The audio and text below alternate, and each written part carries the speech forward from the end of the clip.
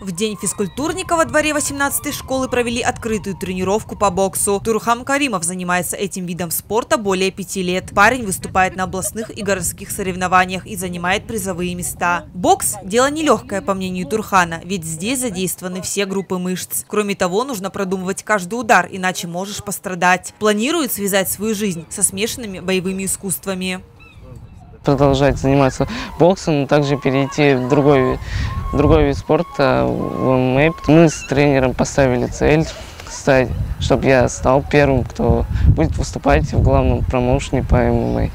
Вот.